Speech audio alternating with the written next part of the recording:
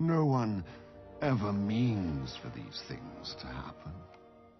But the king is dead. And if it weren't for you, he'd still be alive.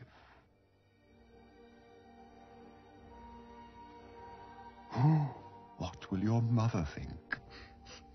What am I gonna do?